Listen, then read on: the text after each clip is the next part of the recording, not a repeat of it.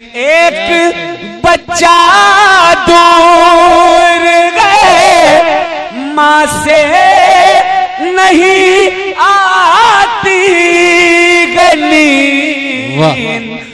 माँ के आंचल की हवा मिलती है आ जाती